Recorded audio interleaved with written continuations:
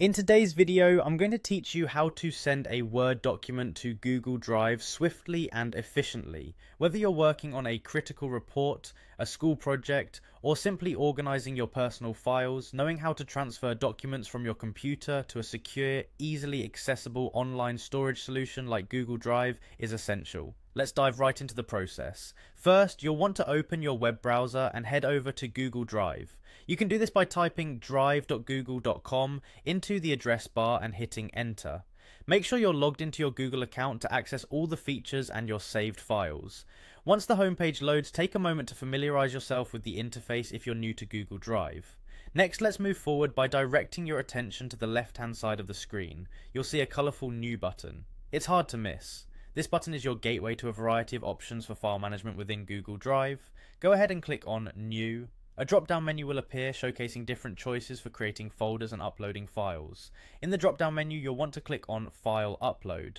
This option allows you to select a document from your computer to upload directly to your drive. A File Explorer window will pop up showing the contents of your computer. Now navigate through your folders to locate the Word document you wish to upload.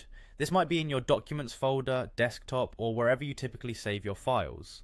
Once you've found the file you want to upload, click on it to highlight it, and then press the open button at the bottom of the window.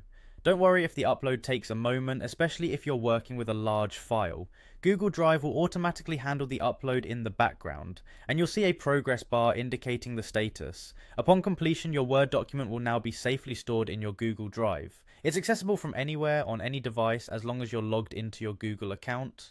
To view or share your newly uploaded document, you simply need to navigate to the main drive window where you'll find it listed. Just click on the file to open it, and from there, you can either view its content in Google Docs or download it back to another device. Congratulations, you've successfully uploaded a Word document to Google Drive. It's a straightforward process, but one that unlocks a world of convenience and accessibility. Remember, keeping your documents on Google Drive makes them easy to find and ensures they're backed up in case anything happens to your local storage. Thanks so much for joining us in today's tutorial on sending Word documents to Google Drive. Happy file sharing.